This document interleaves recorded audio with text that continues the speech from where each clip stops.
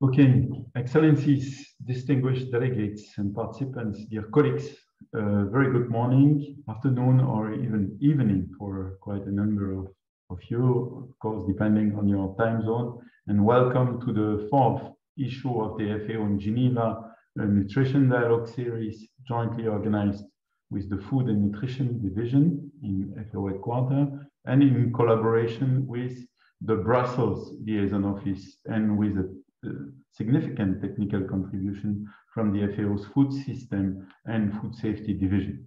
My name is Dominique Bourgeon, and I'm the director of the FAO Liaison Office in Geneva, and I will be moderating today's session.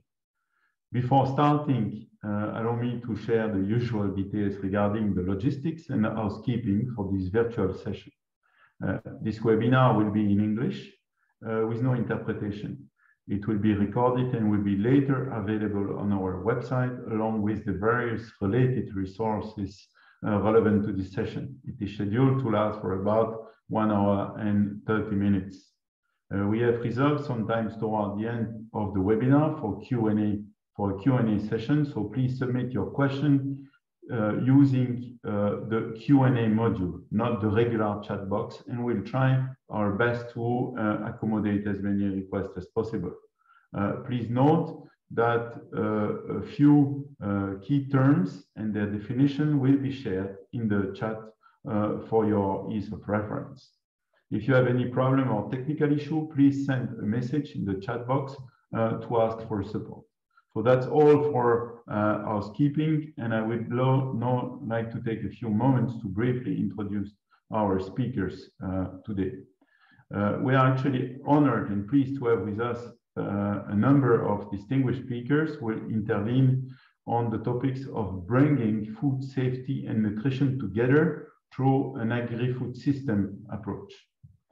Uh, we'll hear from uh, Dr. Eleonora Dupuy, food safety officer at FAO, uh, Dr. Stella Nordhagen, uh, senior technical specialist with the Global Alliance for Improved Nutrition, GAIN, from Dr. Manzoor Morshed Ahmed, member of the Bangladesh Food Safety Network, uh, Dr. Augustine Okoruwa, uh, sorry, head of the Eat Safe Country program at GAIN Nigeria, uh, we'll have also with us Professor William Chen, the director of the Food uh, Science and Technology uh, program of Singapore Nanyang Technological University. Uh, we'll then have Mr. Dirk Schulz, the food safety officer from FAO, will be facilitating a panel uh, reflecting on the case uh, studies presented and actions to bring food safety and nutrition together through uh, an agri-food system approach with Dr. Stella Nordhagen, Mr. José Valls Bedeau, uh, policy officer at the FAO Food Systems and Food Safety Division, and Dr. Luz uh, Maria de Regil, uh, head of the multi-sectoral action in food systems unit at WHO. Thank you all, of course, for agreeing to be uh, with us today in what promises to be a very rich uh, conversation. Dear participants, the, the purpose of these webinars is to enable us to collectively learn from the process of taking action in the field about how to leverage the power of agri-food systems to improve nutrition while also achieving other development goals. So before we start, we would like to share with you the lessons we learned from our webinar last month which uh, brought a wide range of speakers together to discuss urban food systems for better diets. Uh, to do so, I will give the floor to uh, Professor Corinna Hawkes, who is a senior consultant uh, in the FAO Liaison Office in Geneva, and who is also the director of the Center for Food Policy at City, University of London, uh, uh, will uh, brief us on the lessons from our last dialogue. So Corinna, the floor is yours. Thank you, Dominique. Can I just check you can hear me okay? Yes, very well. Thank you. Great. Thank you, uh, Excellencies and, and, colleagues. It's a pleasure to be here today. And as uh, Dominique said, the last webinar was around urban food systems, and we learned a lot of interesting lessons from the discussants and the panelists at that, uh, at that session. And there is a, so much activity going on around the world to improve urban food systems. We heard from three specific examples, Pemba in Mozambique, Pune in India, and Nairobi in Kenya. And what emerged very clearly from all three examples was just how important formative research and assessment processes had been in identifying where action was most needed in those cities and could be most effective. In short, knowing their food system in these cities was the starting point for systems change, enabling them to focus on solutions such as improving market infrastructure, reducing food waste, and designing more effective dietary interventions that were really going to be effective in their contexts.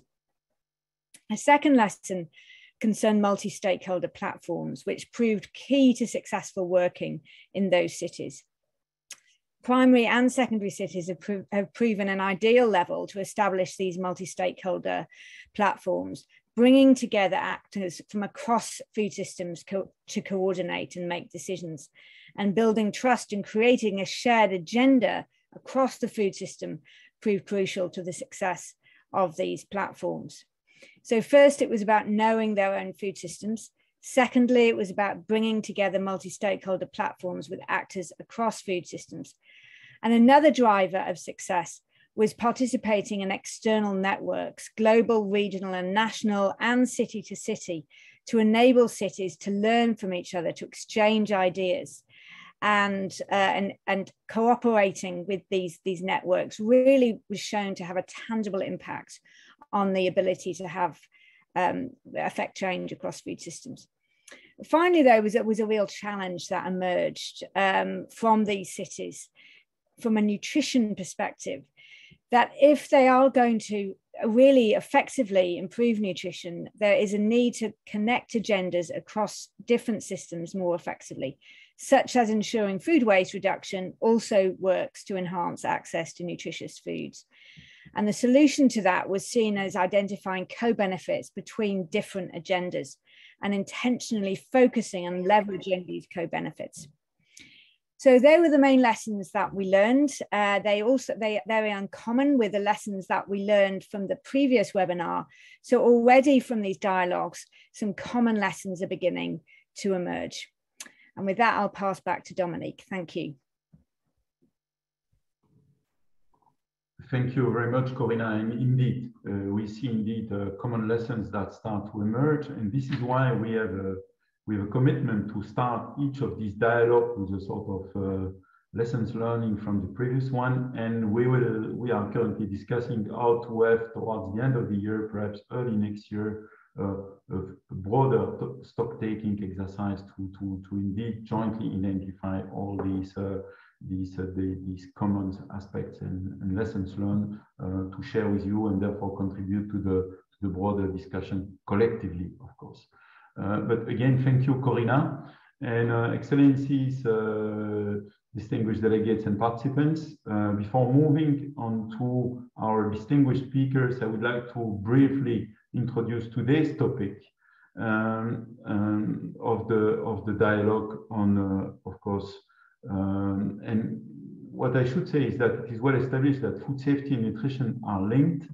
Uh, unfortunately, though it is also evident that there is insufficient recognition of this in the management of both food safety and nutrition, leading to therefore missed opportunities for, for synergy.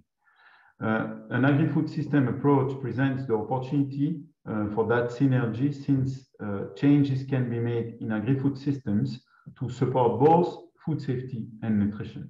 This dialogue aims to spark ideas on how to do that, uh, drawing lessons uh, from uh, diverse examples from three countries working to advance food safety. And the examples that we are going to listen to today are from Bangladesh, Nigeria, and Singapore. Uh, before hearing from representatives from these three countries, we'll now start with some experts to provide some background and context. And we'll first hear from Dr. Eleonora Dupuy, uh, food safety officer at FAO, will highlight food systems thinking on food safety and nutrition and FAO's approach to food safety.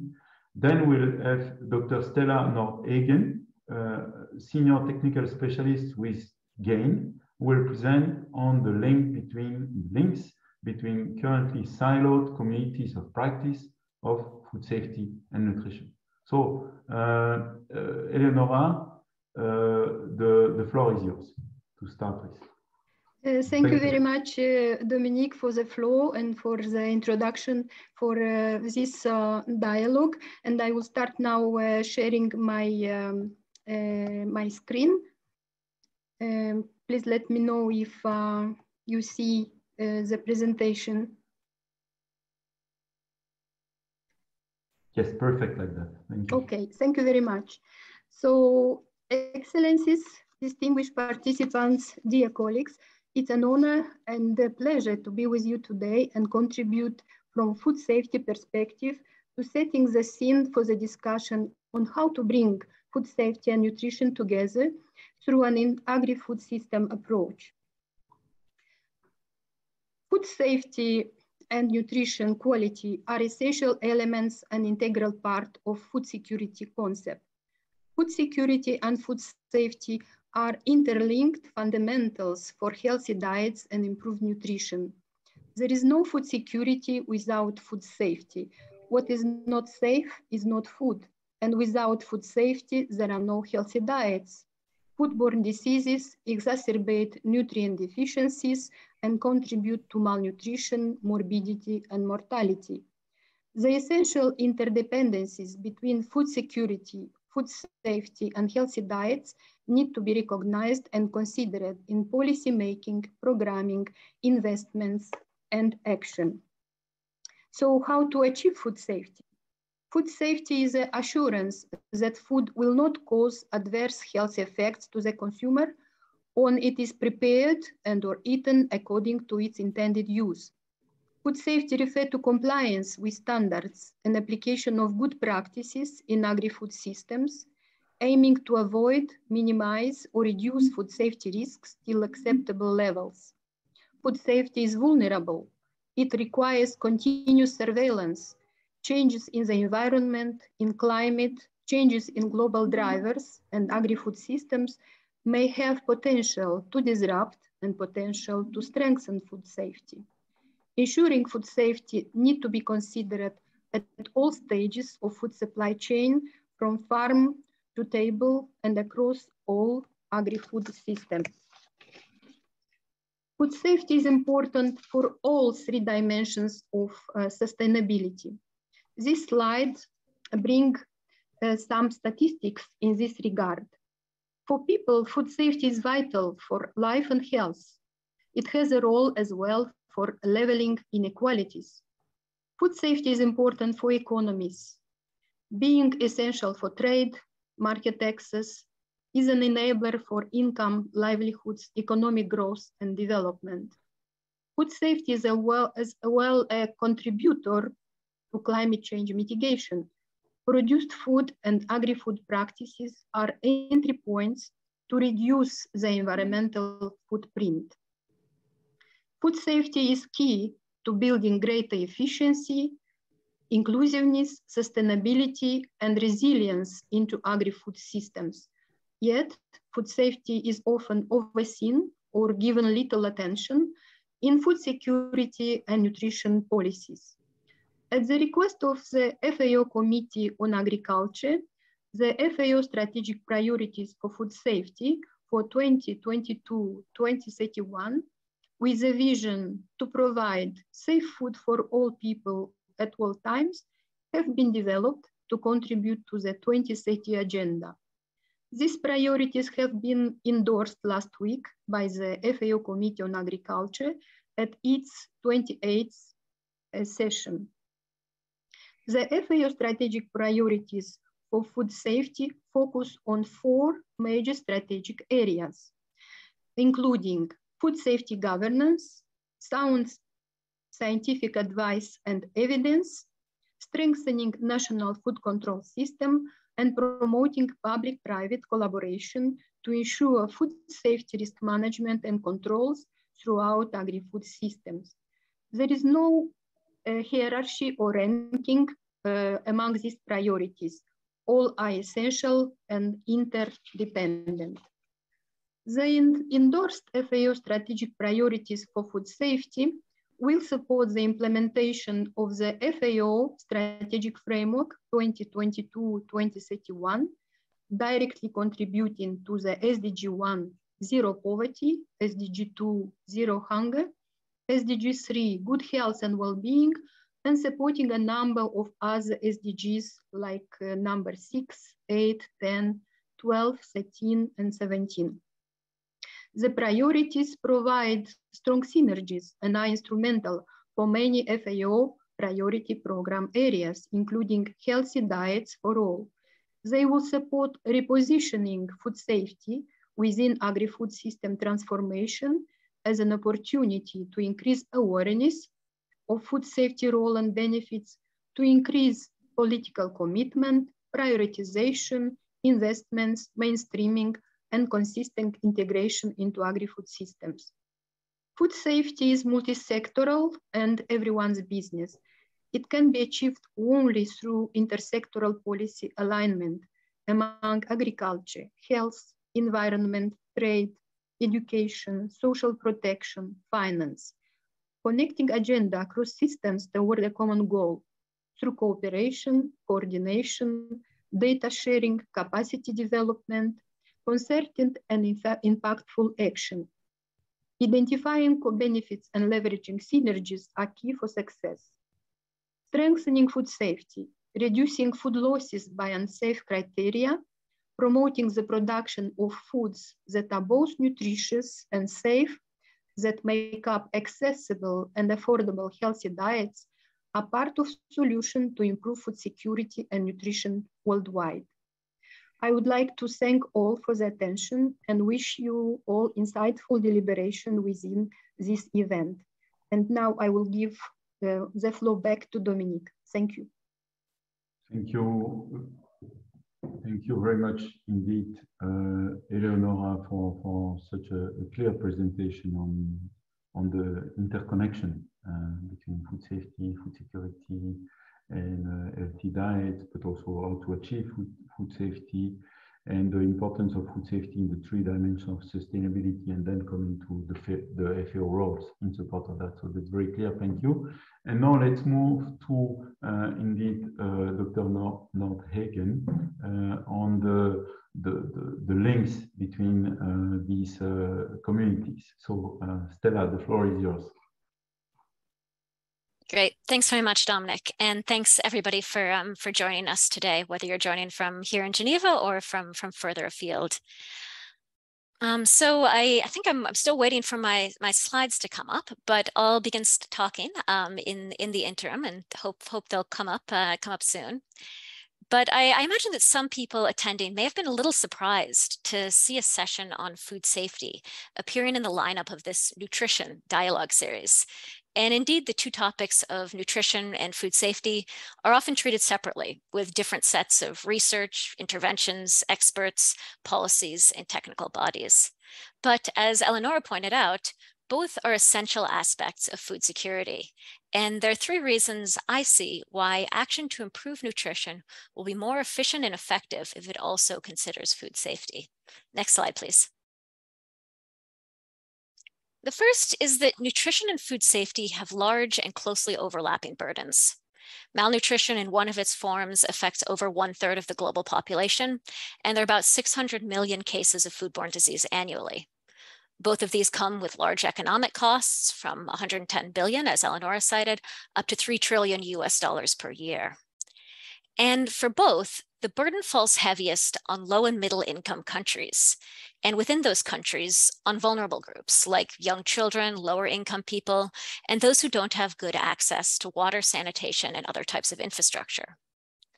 In addition, the greatest known food safety risks are associated with some of the most nutrient dense foods. So things like animal source foods like uh, dairy, fish, and meat, as well as fresh vegetables and fruits. So addressing these two large causes of ill health involves engaging with similar populations as well as with similar foods. Next slide. Second, food safety and nutrition are closely and bidirectionally interlinked. Foodborne disease influences malnutrition and malnutrition influences foodborne disease. And these linkages can be grouped into four areas, health and physiology, consumer behavior, supply chains and markets, and policy and regulations. The linkages are perhaps the, the clearest when it comes to health and physiology, as foodborne disease can cause reduced nutrient intake and absorption, which can increase the risk of malnutrition. And at the same time, those people who are already malnourished are more susceptible to disease, including foodborne disease. But there are also linkages when it comes to the behavior of consumers and of market actors. For example, concern over food being unsafe can lead to food vendors choosing not to sell certain foods. For example, avoiding those that they see as having a, a large level of risk, like perhaps dairy products, and instead to sell other foods, which can impact food availability in the market and therefore have an, an impact on people's choices and their diets. It can also lead to consumers changing their dietary choices directly, which can impact their nutrition. For example, research in low and middle income countries has shown that some consumers choose to eat highly processed packaged foods because they perceive them as being safer because they're processed in an industrial manner and they're packaged in a way that seems to protect the food in the market. But these highly processed foods can have a negative impact on their nutrition. Finally, there are also some linkages related to policies and regulations. For example, the creation of right fit food safety standards that make it feasible for producers and vendors to comply can encourage the production and sale of highly nutritious foods. Whereas having very strict standards that are, are seen as infeasible can act as a disincentive to supplying the same types of foods. So food safety and nutrition are closely interlinked and intervening to affect one can also affect the other. Next slide. So that brings me to the, the third reason why nutrition actions need to consider food safety. And this is that in some cases, more efficient and effective programs and policies could be achieved by tackling the two jointly by taking a food systems perspective, such as was described in Eleonora's remarks, and I hope will be clear in the examples that we'll hear about later in this dialogue. Next slide. Indeed, the, the links between food safety and nutrition, they're already recognized in some important international documents, such as shown in the, in the quotes here, and really enshrined within that definition of food security. But as Dominique mentioned at the beginning, these linkages are often not actually embodied in practice. For example, many of the major frameworks out there for nutrition and for food systems, which are used to guide programming, policies, and monitoring and evaluation, don't mention food safety. Or they mention food safety in passing, but without actually integrating it in any detail into the recommendations they make or the implications that they draw. Similarly, many different food safety frameworks and policies don't mention nutrition. And in practice, we see that these two issues, food safety and nutrition, are rarely addressed in a comprehensive manner through integrated policies and programs.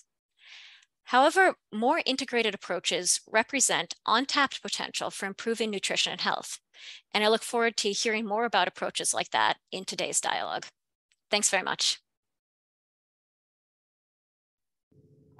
Thank you Thank you very much, uh, Dr. Nordhagen, to indeed illustrate so well the link between food safety and nutrition as the issue, and therefore the, the importance for these uh, these communities uh, to to closely interact uh, um, to within with each other. Of course, uh, highlighting that intervening on one aspect can impact the other one, and therefore why it is so important to that food safety uh, be considered uh, in the context of our nutrition effort and therefore in the context of this nutrition series.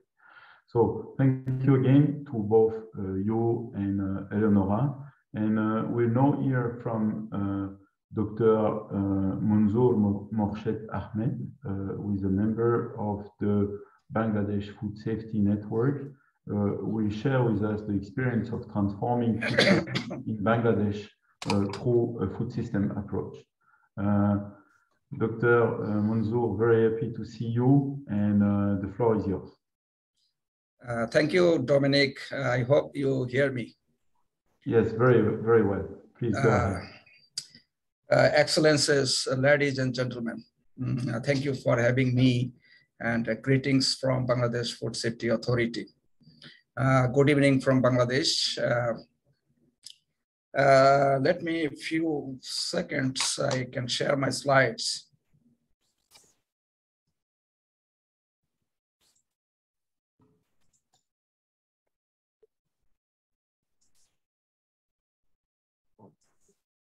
So I think uh, uh, you you see my slides. Yes, perfect, perfect. Please yeah, thank uh, thank you. Just I will Mm, uh, give my stories of uh, food safety in Bangladesh. You know uh, the strategies and interventions and governance issues.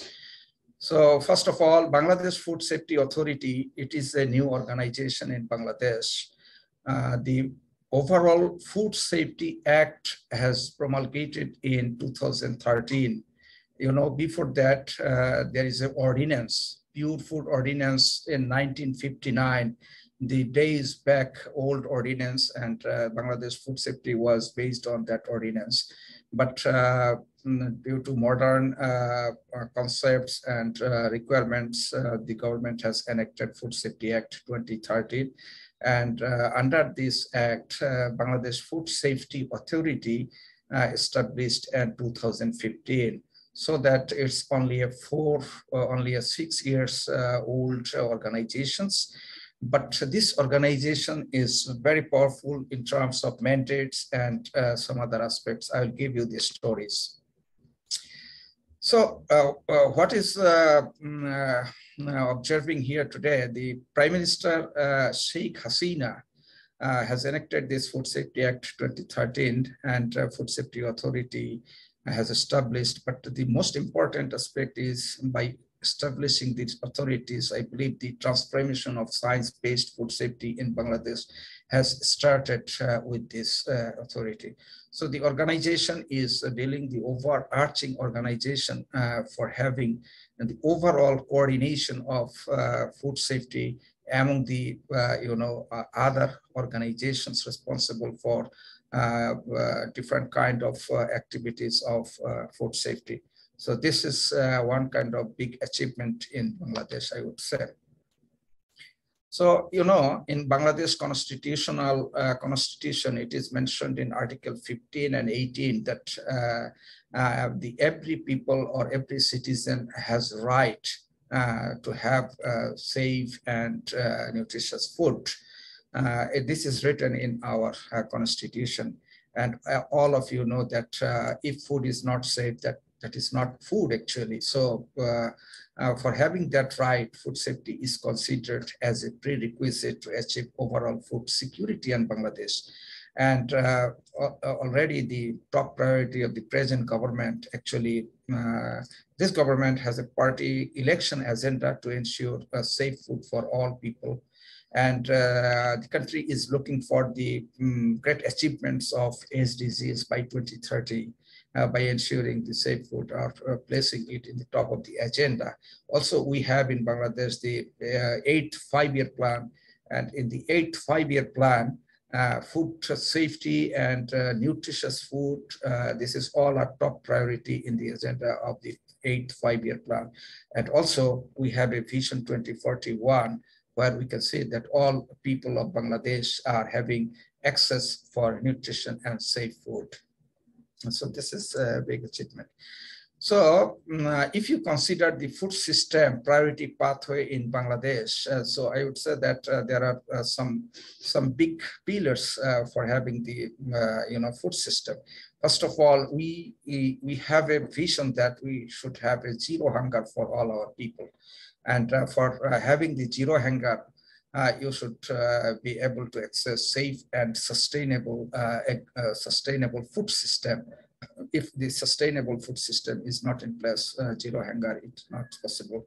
And we also want to reduce the malnutrition in our country. So malnutrition redu reduction is one of the important uh, aspect as well of the food system in Bangladesh. Resilient food system is also important. You know, the climate change, the vulnerability, all the resilient, all the all the natural calamities that is very prone in Bangladesh. We have a sudden flash floods, some other natural calamities, but we need a resilient food system uh, for having the um, uh, you know safe and accessible food for all people.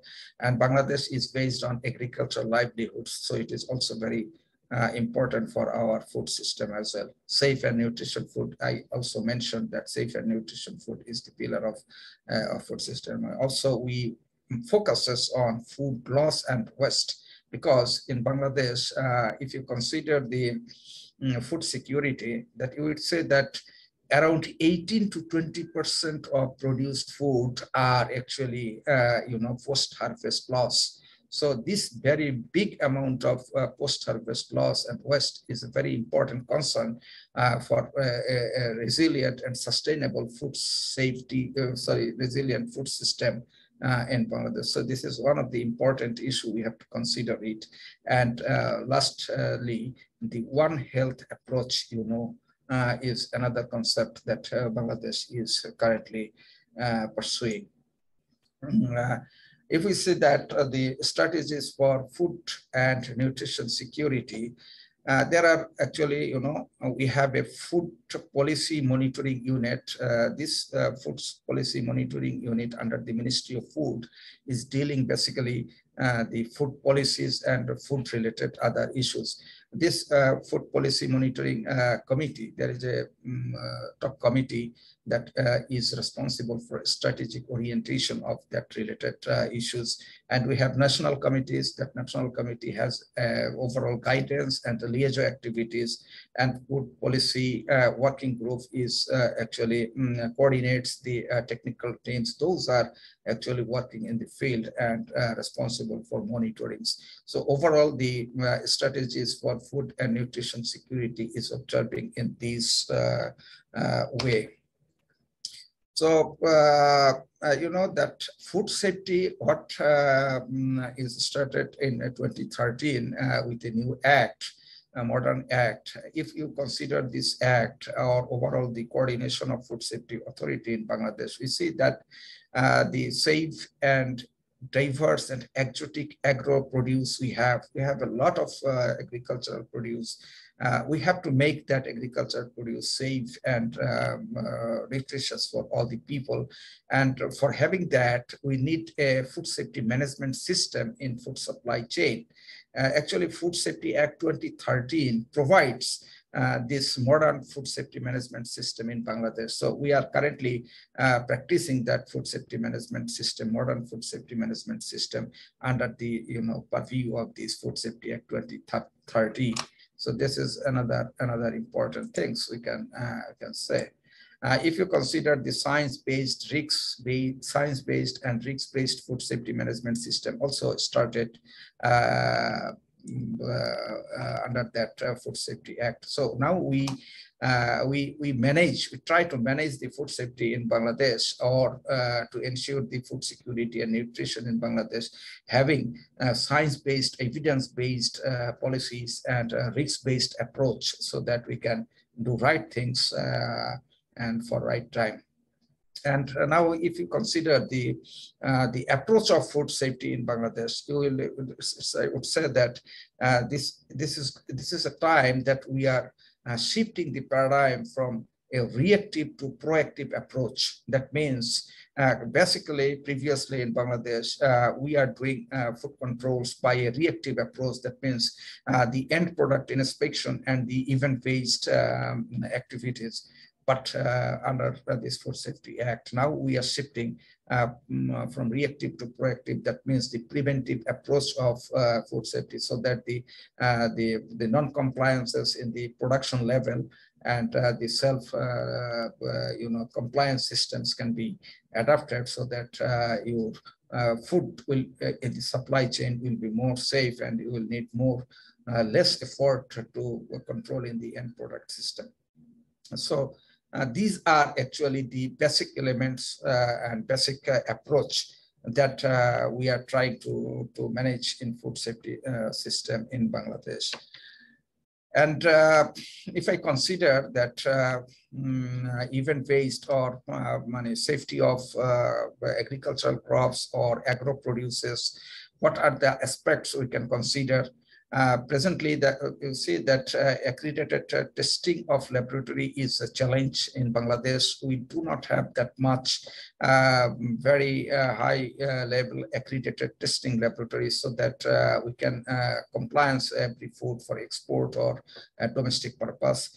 Also, we are trying to to maintain the uh, coordinated monitoring systems through the organizations like the Department of Agricultural Extension or uh, Department of uh, Plant Quarantine and other uh, agro-produce related organizations. So we have a responsibility uh, to coordinate those organizations so that the good agricultural practice or uh, Uh, uh, good, uh, you know, producing practice and post-harvest loss can be addressed. Uh, so this is uh, the way we are doing currently. Actually, central packing system or packaging improvement is another another you know aspects that is also responsible for loss of nutrition and the risk of food safety in the agro producers. As I mentioned, uh, almost 18 to 20% of foods are wasted uh, in the post-harvest uh, uh mm, uh, phase. these are basically uh, mostly due to inappropriate, you know, packagings and preservation systems not in place. So um, this is uh, very, very concerned about that. And also, if you don't have the good agricultural practice and certification system, uh, basically uh, the export will be um, will be declined and the export will be not uh, boosting in that situation and traceability system is also responsible for that that kind of management in food safety. Dr. Dr. Manzoor, I would yes. just like to clarify that you have five more minutes, please. Yeah, I will. I'll, I'll finish uh, shortly. If Thank you consider, you, yeah, if you consider that aquatic origin of foods, I cannot uh, say that uh, all these aquatic origins we are focusing for good aquatic practice, uh, national residue control plans, and all kinds of uh, compliances necessary for the Bangladesh system. So the safety of meat and poultry is same. Food safety management coordination with Bangladesh Food Safety Authority is a central position, and we are coordinating all these, uh, you know, uh, the primary productions liberated organizations so that we can do better food safety management in Bangladesh for the primary productions like the meat and uh, safety uh, products. And also, if you consider the overall management, the main focus, main focus is the for primary production is good agriculture practice, livestock practice, aquaculture practice, and for manufacturing and distributions, good manufacturing uh, practice, hygiene practice, HACCP and ISO or other certification systems. So what is actually the Food Safety Authority is doing uh, is the priority for uh, multi-agency coordination is important, address the gaps and lapses food control system, risk-based inspection, and shifting from end product inspection to preventive approach. So uh, in this slide, you can see the BFSA is coordinating with uh, more than 18 ministries and some 35 uh, divisions. So focus is to have a better coordination for better food safety management. And uh, uh, lastly, I can see the um, what I should, sorry for delay. Uh, we are doing some of the important activities like uh, public awareness and media uh, activities, uh, television clips, trilogy and play, leaflets for posters for public awareness and caravan shows and other things for, you know, the things and monitoring and awareness, we are doing a lot of activities. We have the monitoring and some gradings and hotel activities and other aspects as well. So after that, uh, this is the conclusion of my presentation. Uh, thank you very much. Uh, you can see some pictures. These are actually the lovely uh, and longest sandy beach in Cox's Bazar. Thank you very much for hearing me. Thank you. So this is over to Dominique. Thank you. Yeah. Thank you so much, uh, Dr. Manzoor, for, for such a great presentation. And I must say, I was able, when I was a FAO representative in your country, to testify all the efforts that have been done uh, to, to really put uh, uh, food safety at the fore and, and really the, to highlight also the, the, the, political will. Political will, again, to my mind, is a key element uh, to, to really uh, lead to the adoption of the Food Safety Act and the creation of the Bangladesh Food Safety uh, Authority, um, recognizing that without food safety you cannot achieve food, food security.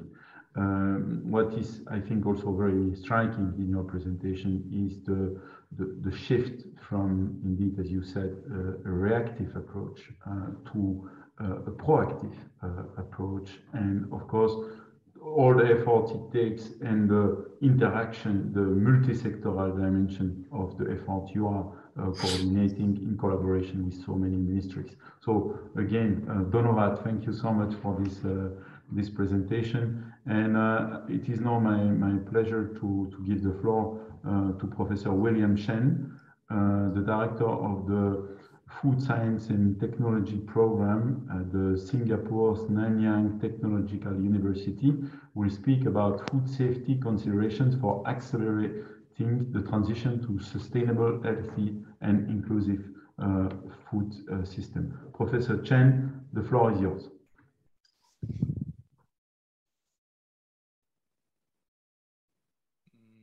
Me see.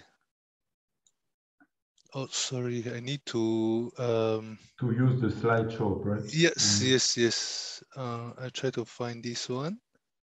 Yes, this one, please. Can you see me? Can you perfect, see the slide? Perfect, please go ahead, sir. Okay. Uh, good morning. Uh, thank you very much for inviting me to share our experience in Singapore. Um, you may ask, uh, what has Singapore got to do with uh, food security? Uh, being a small city state in the Southeast Asia, well, um, food security is very much on our mind, and we have been pushing uh, different measures to uh, develop tech-driven urban farming uh, practices in the city-state.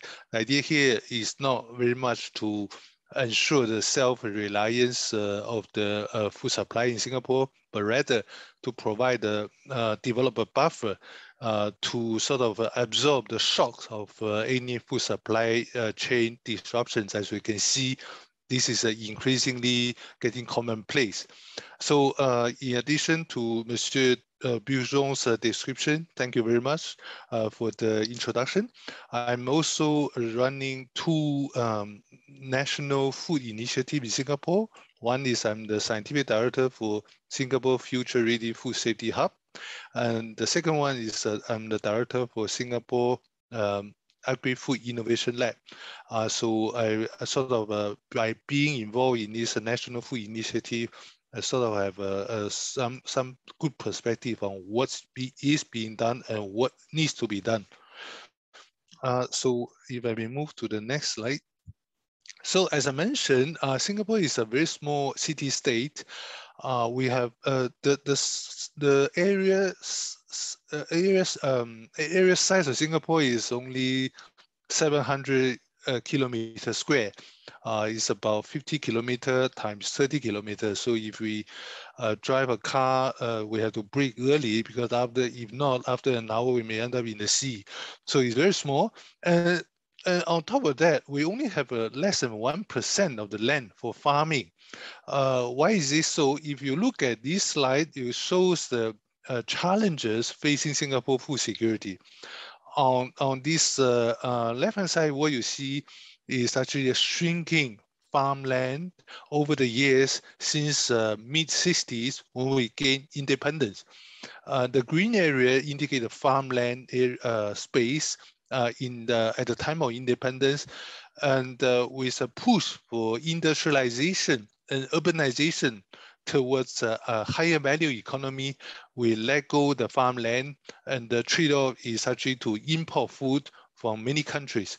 uh, right now, so much so that uh, with a strong economic growth, now we have less than 1% of farmland, as you show, uh, as shown here at the bottom.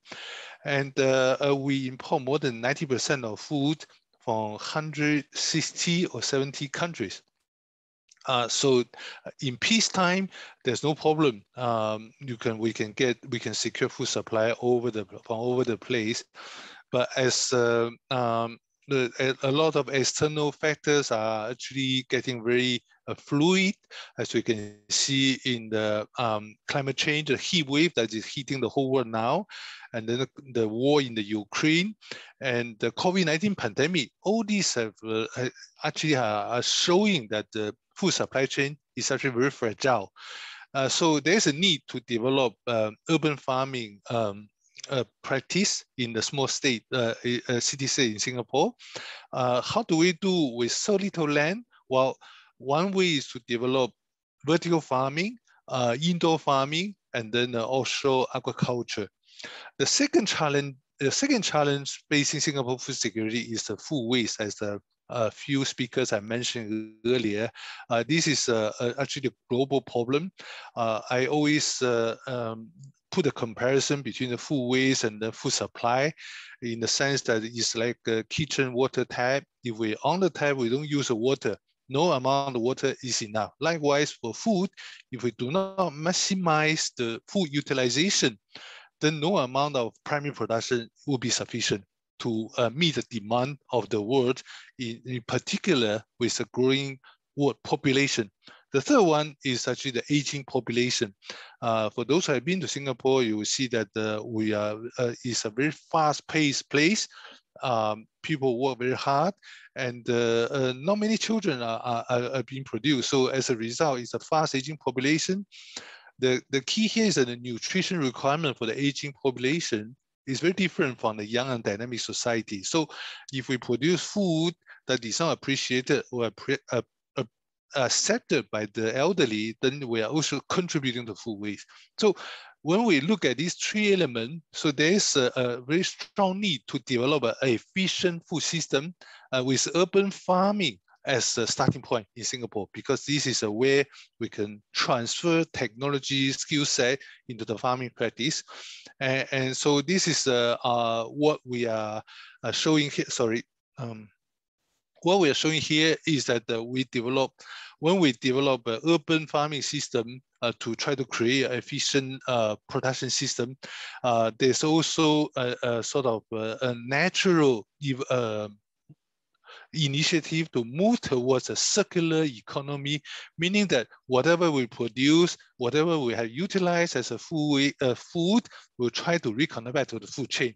So um, initially, when we look at the, all these innovation as we show here, uh, um, natural food preservative through precision fermentation, uh, food uh, nutrient recovery from processing side stream like uh, soybean residue or converting the remaining residue into packaging material. All these are part and parcel of the food circular economy, but uh, they are uh, concerned about this. Um, I would I'd like to show you some examples of what I, we've been doing. Uh, for example, in terms of, uh, I would I would skip this one. This is a talent development of uh, to to sort of sustain the future food security uh, push in Singapore. So we are partner with the GFI to to educate the young mind to move into the food sector.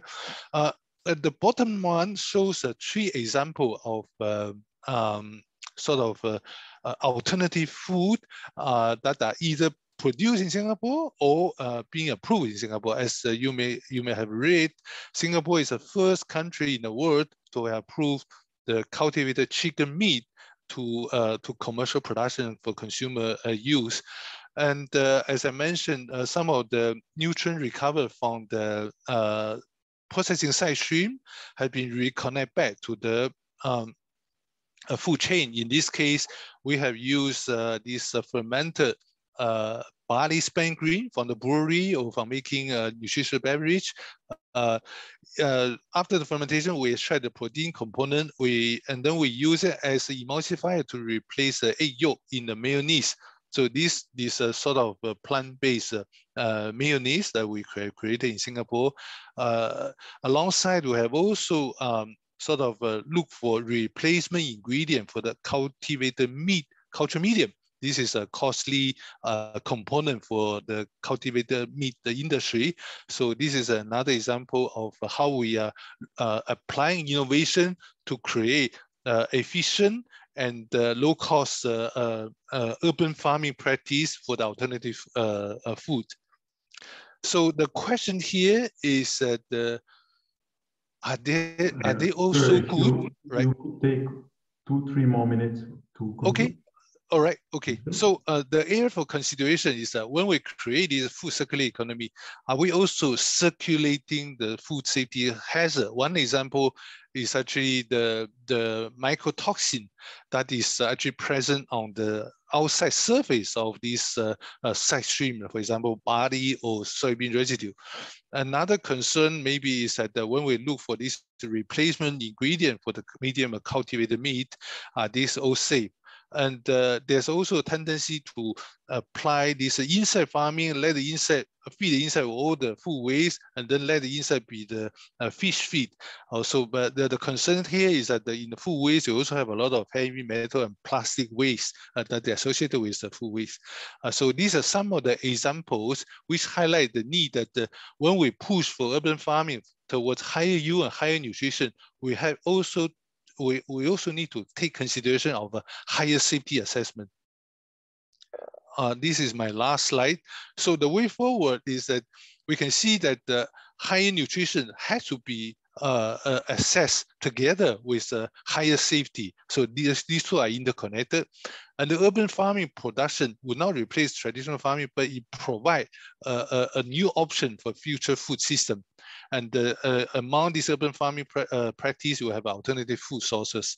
And the uh, food circular economy uh, can be an efficient part of the efficient food system, but the food safety need to be part of this assessment.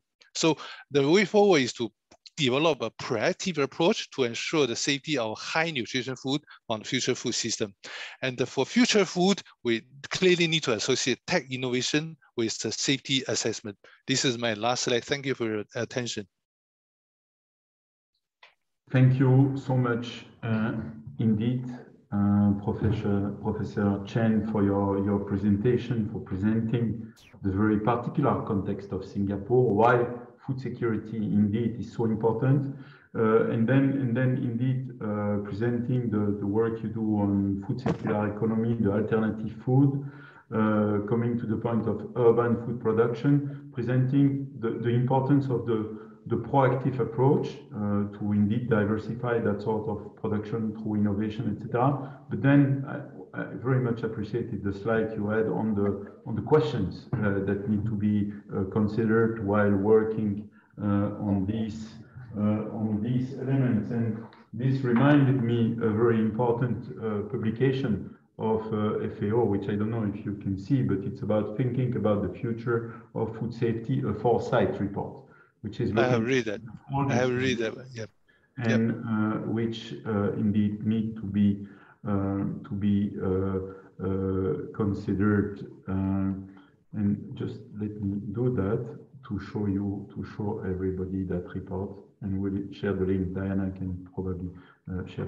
Thank you so much indeed, again, um, Professor uh, Chen, for your your presentation. And Thank I would you. like now to uh, to move uh, to uh, Dr. Augustine Okoruwa, the head of Eat Safe. Uh, country program at GAIN Nigeria will speak about addressing food safety in traditional markets uh, to benefit consumer diets and nutrition, and uh, the case of uh, Eat Safe in Nigeria. So, Dr. Okoruwa, the floor is yours, and apologies again for messing up a bit the, the, the sequence of speakers, but very happy to have you. Over to you. Good afternoon.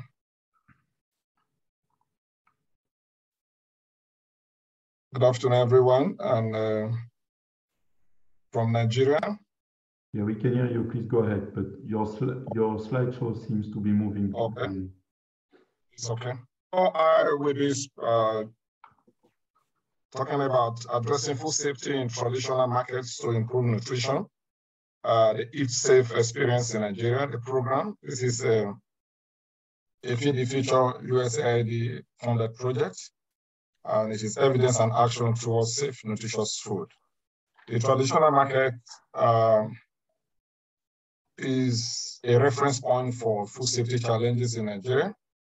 But as we look at Nigeria as a country, and globally, consuming unsafe food can result in foodborne disease, which we know. Then in Nigeria, annually, foodborne disease is responsible for about 173 million diarrhea disease cases. And out of that, 33,000 deaths. And in Nigeria, foodborne disease related to food safety uh, issues are over 200 deaths. And that's a cause for concern. Then the focus of the Eat Safe program is on traditional food markets in Nigeria, but we also are working in Ethiopia, but this will focusing on Nigeria. So in Nigeria, millions of uh, Nigerians buy food from traditional markets. And at this traditional market, supply and demand intersect. And that is where the interconnection of food safety and uh, nutrition becomes very evident. As it, as, as it concerns the vendors and the consumers, livelihoods for the vendors, uh, community building for communal living, food safety issues coming, and then food security as an integral part of national planning and economic development, and also for community level food security. And regulations, food safety regulations often focus only on formal food sectors, overlooking informal shops and traditional markets, where majority of, of households in Nigeria purchase their food, and thereby also increasing uh, foodborne disease risks if there is no regulation of this sector properly by the local uh, municipal or local government authorities. Our Eat Safe approach, we're, we're working in two states in Nigeria, Sokoto and Kebbi states. We are currently focusing on enabling lasting improvements in the safety of uh, nutritious food in traditional markets through four interventions. Uh, the central market in Kebbi and Dankuri market in Sokoto State. These four interventions have been designed through a human-centered design approach, taking into consideration all stakeholders and partners on the project.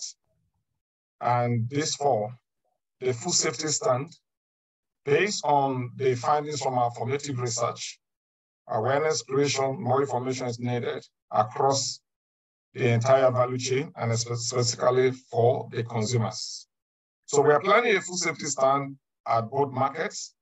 And we have uh, five food safety alcohol staff that will be trained on food safety to provide information to consumers and other market actors, all aspects of food safety. We also have a radio show. Radio, through our formative research analysis, shows that that has the widest reach in both Kebbi State and Sokoto State.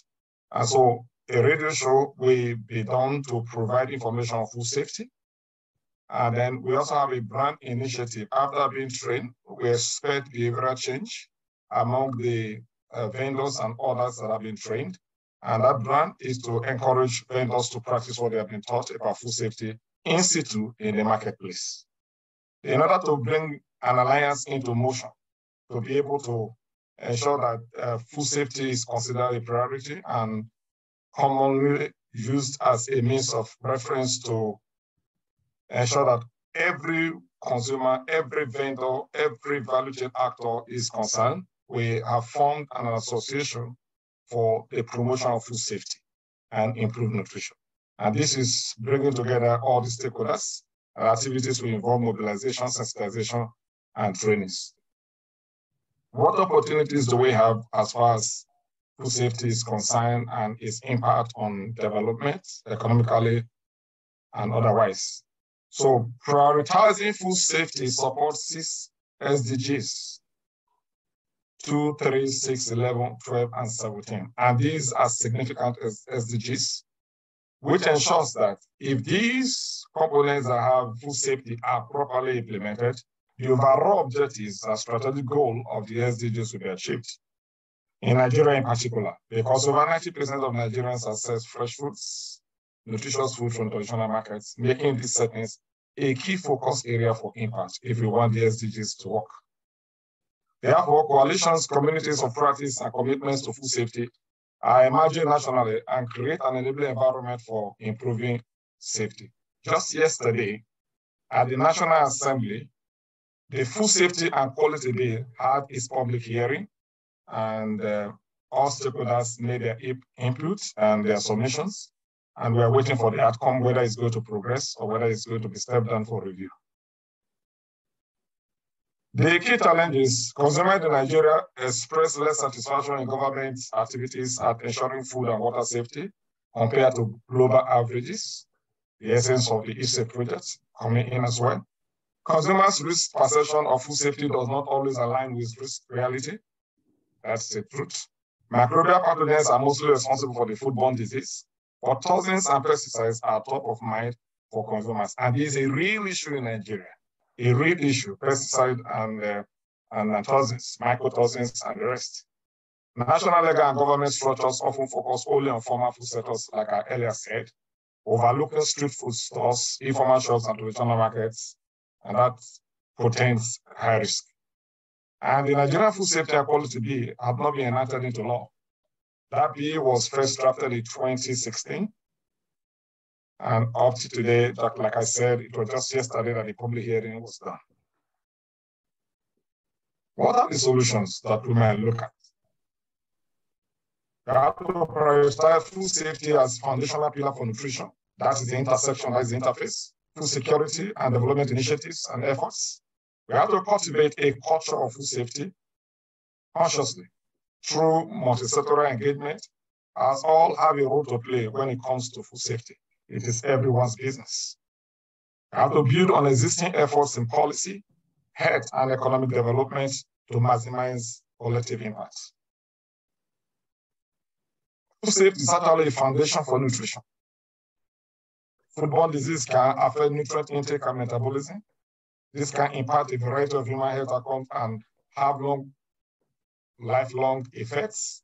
And when you now consider children's growth, nutrient assumption, gut illness, and other diseases, then food safety intersection with nutrition must be given the needed support and strategic funding for research and additional implementation of behavior change programs that will enable consumers, vendors, transporters, market authority, research and academia, consumer associations, to be concerned about food safety and be part of the solution by taking the necessary action since food safety is everyone's business.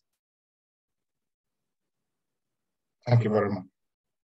Well, thank you very much indeed, Dr. Okoruwa, for, for presenting the, the work that you are doing in Nigeria in the context of the Eat Safe uh, program, the, the challenges which you are facing, but then with a focus on the indeed the, the traditional markets. What I very much like is the uh, well, you are you are promoting this uh, the importance of prioritizing food safety, but you are bringing a contribution through evidence.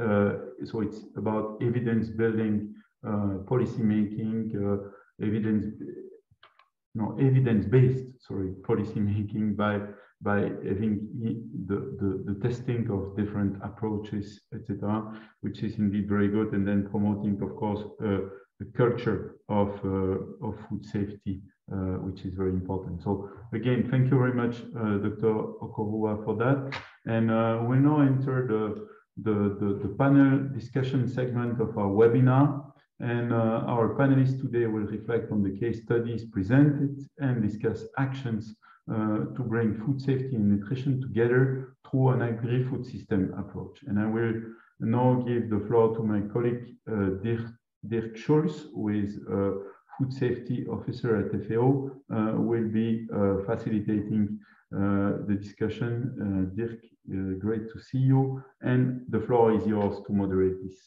discussion. Thank you very much, Dominique. And um, welcome everybody to this uh, section on the discussion.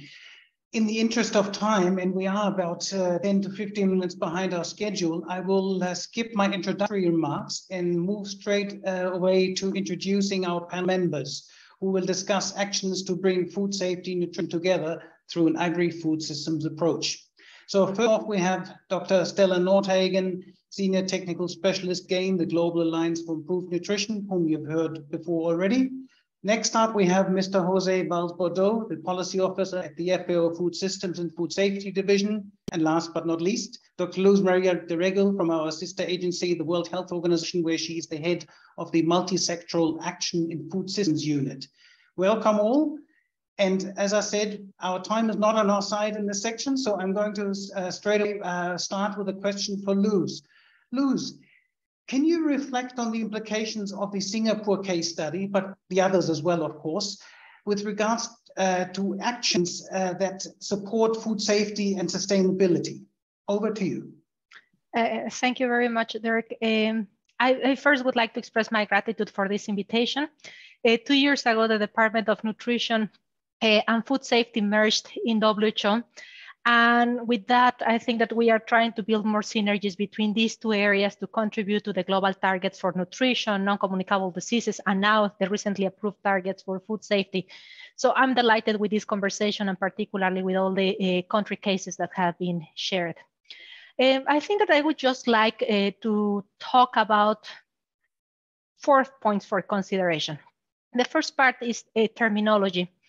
I think that uh, uh, there is no international harmonization for the terminology for many of these novel products that we have heard now. We hear cultivated meat, uh, also referred as cells-based meat, cultured meat, slaughter-free meat, etc. And terminology matters because it may lead to gaps in regulations and also to a lot of confusion. So important to address that. I want to say that the Codex Alimentarius has already started working this topic and is already circulating a letter seeking uh, input from member states and observers on the topic and issues like regulatory issues, labeling, nutrition, food safety aspects are considered uh, within this letter of uh, novel products. The second point that I want to make is about technology. It uh, represents a huge potential to produce um, these type of products in a more sustainable way. However, uh, new technology needs to be tested. New processes need to be tested. New ingredients need to be tested. Are we talking about culture, media, growth factors, residue levels, etc.? So from the food safety perspective, although we are creating more sustainable solutions, still we have to walk the path and make sure that these products are safe, properly labeled, etc. And I just want to make a call because I think that it's very important to, in this process, governments need to work with academia, private sector, etc. And also, I mean, of course, as uh, UN agencies, uh, we need to support throughout the process as much as possible because all this information is critical for regulators the case of Singapore particularly, I think that is, is, is, is amazing. It's very interesting because it's the first country to approve a, a cultivated meat for uh, commercialization. So we are learning from what uh, we just heard. And the Singapore Food Agency uh, just published guidance on the requirements for the safety assessment of novel foods. Um, including requirements on the information to be submitted for approval, uh, of all these type of products. And I would say that a very interesting uh, case is that they are updating the, the publication because new discussions are coming. Uh, I think that it has been updated three times since it was published uh, in last in 2019. So I think that it's important that we follow this case because it's a, it's a pioneer in this area, but also we are learning about terminology, about how to include uh, the different evidence uh, in these type of regulations. And the last part that I want to uh, make is about uh, integration with nutrition and the non-communicable disease agenda. Uh, while the shift of uh, towards products of non-animal sources is desirable from the sustainability point of view, and sometimes from the prevention of non-communicable diseases, I want to highlight that the products, the food products with these food proteins are not necessarily healthier. Uh, we see in the market many products that are high uh, processed, highly processed, that are high in sugar, unhealthy fats, and sodium. So, for example, some vegan products uh, that you we currently uh, find everywhere do not meet the recommended profile for salt and saturated fats. And these ingredients currently are used to improve the sensory characteristics of these proteins, but from the nutritional point of view, they are not desirable uh, or not are, do not match the profile that we want to, to see. On the nutrition side, I want to just highlight that, that an emerging area that uh, food additives that are added as we evolve also need to be assessed not only from the food safety side, but also on the effects on nutrition and on some of the biochemical precursors of non-communicable diseases. The current food, uh, many of the food safety uh, risk assessments do not include those outcomes at this point. So it's, it's important that we see this in a more comprehensive picture. And the last point, uh, because I know that we are short of time, I want to say that it's important that we quantify the effects of these uh, potential effects in the burden of disease.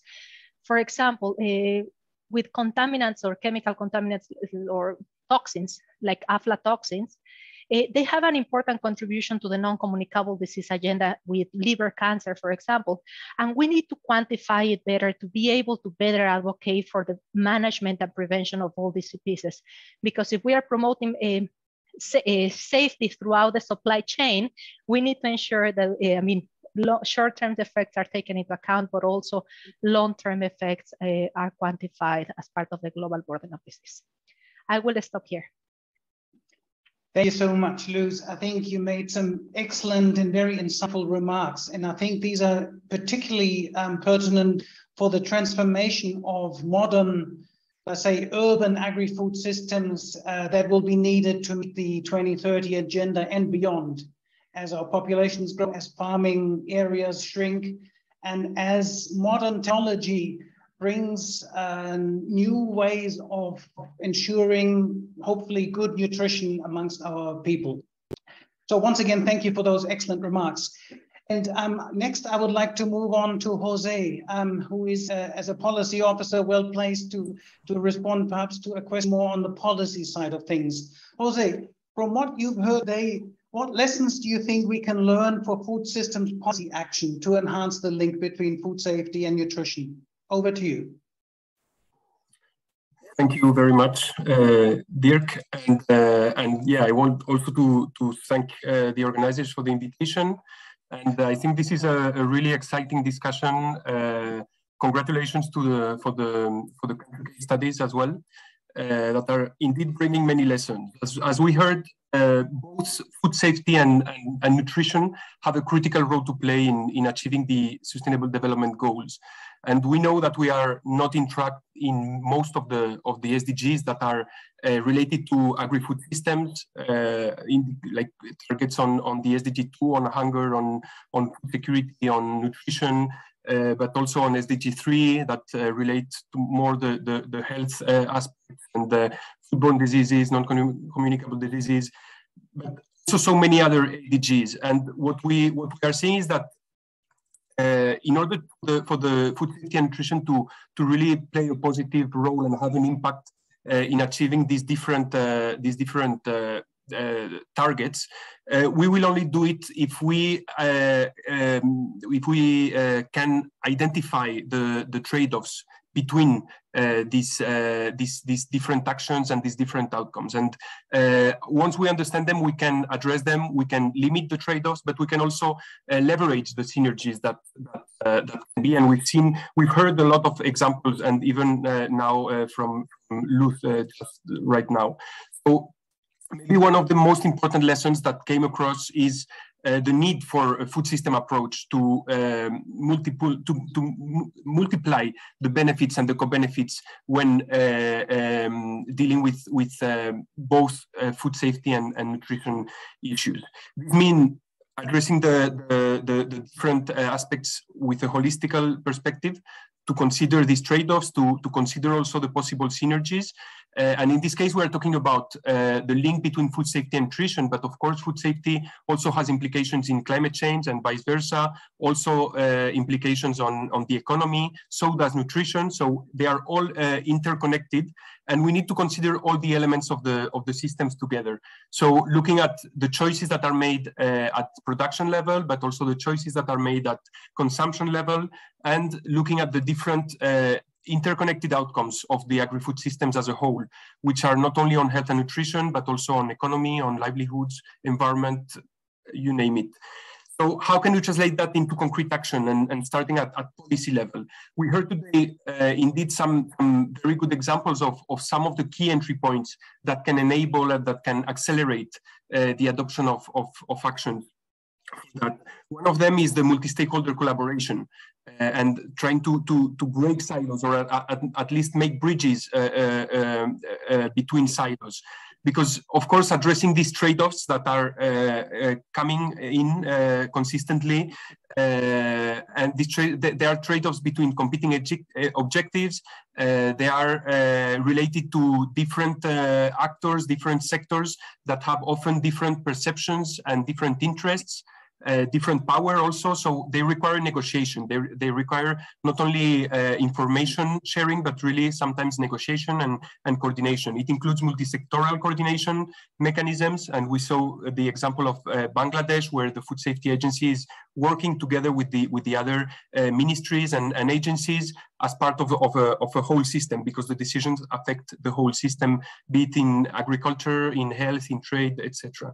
So this uh, multi-stakeholder collaboration also means uh, ensuring the participation of all the relevant uh, actors, uh, from producers to consumers, sometimes also bringing them uh, closer among themselves through improved food environments. And we saw the, the very good example of Nigeria on the, on the traditional markets. Uh, another of the entry points is data and evidence. We need metrics to assess uh, the implication of, of the actions in different outcomes, and we've been hearing it today as well. Uh, we need to identify those trade-offs, but also quantify those trade-offs, uh, the possible synergies between food safety and, and, nutrition, and this to, to increase the understanding, but also to explore what are the appropriate and balanced solutions uh, that can be offered. Uh, without uh, data, without uh, uh, assessment, it's it's very difficult. The data and uh, also would, uh, or the, the appropriate metrics would allow to monitor the performance and the progress over time in, in these synergies. Another of the entry points that came across very, very importantly, and actually my the previous speaker also about it is the technological innovation, no? with the example from Singapore uh, and actually, one of the entry points for, for more sustainable food systems uh, and, and an accelerator to leverage different synergies and sometimes also address uh, some of the trade-offs is technological innovation. But this said, we also need a, a, an holistic approach in identifying the appropriate types of innovation that are needed uh, in, in different contexts. No? So they have to really be adapted to the context. And this is a bit also what uh, Luz was, was, was um, referring to. Also, we need to ensure that uh, we manage the, the distribution of the impacts of, of this innovation across different stakeholders and thinking especially of the most disadvantaged. And the last uh, of the entry points, policy entry points that I would like to mention now is the, the, the, need to coherent policies and investment that can talk to each other. And that's why also uh, assessment, but also coordination is, is so important. Today, for example, we have 117 countries that have presented a national pathway to transform their food systems. These uh, national pathways come as a result of uh, the UN Food System Summit process uh, of last year in 2021. Uh, and uh, the countries have been presenting their, their different uh, pathways. Out of these pathways, there are 45 of them, and they include actually Bangladesh and Nigeria that have included in their national pathways the food quality and, and safety as one of the priority areas with specific actions and sometimes in in in uh, um, in synergy with with with uh, their nutrition more nutrition um, uh, targeted actions. And these actions in, in the pathways, uh, you can, there is a, a, database where you can find all the pathways and you can look all these uh, uh aspects that we have been uh, mentioning today, improving data, uh, risk assessment mechanism, regulatory frameworks, food control system, standards, improving consumer information and engagement of consumers. That is also a, a, place where it intersects between food safety and, and nutrition, human resource capacities, etc. Uh, all those are uh, included in these national pathways uh, for food system transformation and having them all together with the different dimensions can help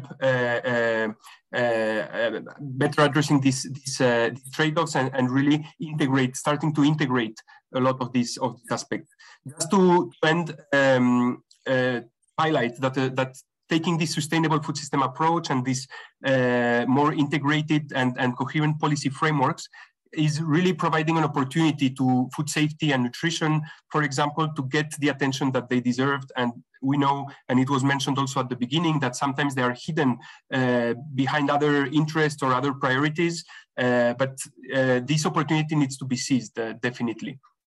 And uh, also, they can uh, help inspiring integrated action and integrated thinking, especially by national governments and, and stakeholders towards more sustainability in all its dimensions taking into account all the different uh, issues at country level.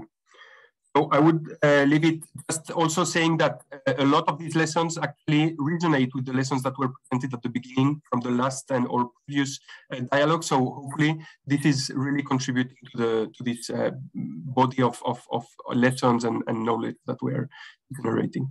Thank you very much.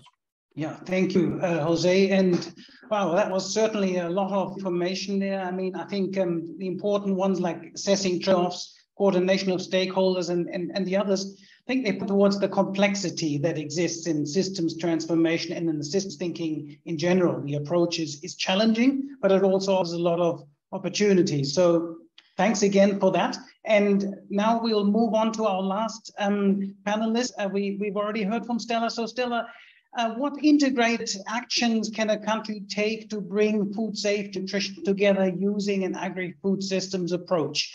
And perhaps you might want to mention uh, your work with private sector. Over to you. Maybe if you can just keep it as short as possible, please, um, in the interest of time and, and the other uh, commenters we might uh, hear from. Over to you, Stella. Sure, no problem, Dirk. Um, great question. And indeed, we, we don't have much time, but luckily we've already heard many great examples of this in this webinar. So I would say three things. Um, first, focus on the right foods. In order to improve diet quality, it's necessary to focus on policies and programs that promote highly nutritious foods and that make those more affordable, more accessible, and more desirable. But as we've heard a few times today, those foods tend to have relatively higher food safety risks. So those policies and programs need to go hand in hand with ensuring safety throughout the supply chain as well as within the household. And I think Professor Chen um, gave a great example of doing this on the supply side from Singapore. And on the demand side, a kind of simple concrete example one could imagine would be a promotional campaign for vegetables that also included messaging on safe handling of them when preparing them in the home. Second, I would say in specifically thinking of low and middle income countries, it's important to focus on the traditional and informal sector, as, as Augustin did in his remarks. Most lower income countries, um, so, sorry, most lower income consumers in these countries obtain their food from outlets like traditional open air markets and street vendors. And those outlets play an essential role in food security and nutrition but they also face specific challenges from a food safety standpoint, such as a lack of access to clean water. Sometimes policies will seek to replace those with modern retail in an effort to upgrade the, the food safety situation, but that can result in disenfranchisement of livelihoods as well as um, lack of access to safe and nutritious foods for the most vulnerable consumers. So it's important to work with them, improve their food safety standards in feasible ways, and ensure that access to nutrition food is, um, is, is continued. A good example of this comes from the clean street food hubs that have been developed in India India, where a group of street food vendors are grouped together. They're trained and they're certified to provide safe street foods so that people know where they can go to get foods that are both affordable and safe. And finally, I'd say that it's um, it's really important to understand the, the motivations and the incentives that are faced by those within the food system as it relates to both food safety and nutrition, and then to design people-centered approaches based on those. So when I was talking earlier, I mentioned how there's some research in lower income countries showing that consumers might choose highly processed packaged foods because they perceive those as being safer. And that for them is a rational decision within that context based on what they know about food safety through other outlets. So telling them about how unhealthy it is to have these foods that are high in salt, sugar, and fat is unlikely to result in consumption changes unless that food safety barrier is addressed. So an example of an intervention that's trying to do that is some work that some of my, my colleagues are doing in Kenya, where they're trying to address increasing demand for vegetables in a context where people are really worried about excessive pesticide content in vegetables by creating a kind of brand that certifies things that are both nutritious and safe so that consumers who are looking for vegetables can identify those that don't have a high level of pesticides within them at the market. Great. Thank you, Stella, for those very concise remarks, but very pertinent, I must say. And in the interest of time, I'd just like to thank the panelists for excellent interventions. I think all three of you made some really, really great points. And without further ado, I'm handing back to uh, Dominique. Dominique, back to you, please. Well, thank you. Thank you very much indeed, uh, Dirk, but thank you also uh, to you to faci for facilitating the panel, but thanks a lot to uh, Luz, uh, Stella, and Jose for, for sort of, of reflecting on the, the extremely good presentation that we had uh, today. And I think this is really what we want to promote in uh, in these dialogues is, is really the this capacity to extract lessons from from examples from the field and documenting them uh, going forward again in this in this process. So uh, time has come to conclude. And uh, as, as, we said, it has been again a, a fascinating uh, discussion to hear about the, the three uh, examples which we got and to consider the different elements that need to be in place uh, to bring together agri-food system, food safety and nutrition. Work is, uh, as was said, clearly needed to align the agendas and what we have heard today shows uh, both the opportunities and the challenges in doing so. Uh, I would urge uh, participants to take heed and learn from this experience and invest in agri-food system approaches to make uh, to making changes indeed.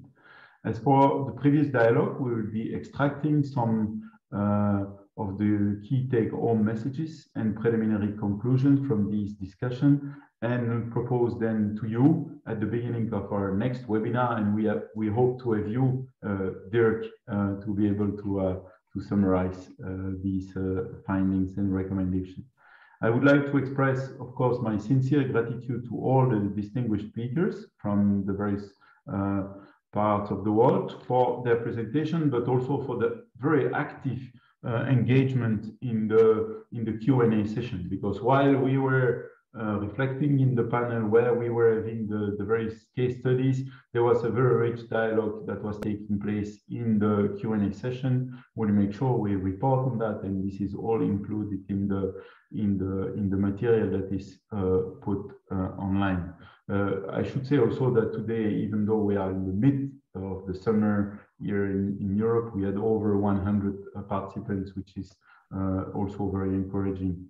Uh, I would like to take uh, to also thank our, our, Geneva partners, WHO, GAIN, and SUN, and to the colleagues, of course, in uh, the food and nutrition division, as well as the uh, food system and food safety division, as well as the FAO office in Brussels and my own office here in Geneva uh, for organizing this webinar.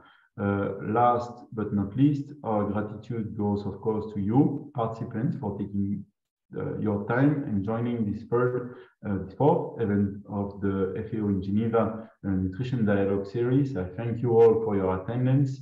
And uh, please do join us for our next webinar uh, in September on the topic of food-based dietary guidelines, which will be a, promise to be again very interesting. So with that, uh, good rest of the day wherever you are in the world and uh, looking forward to engage with you on this very, very important topic. Bye-bye. Thank you. Bye-bye. Bye-bye. Bye-bye. Thank you. Thank you. Bye. Thank you. Bye-bye. Bye. Thank you. Bye.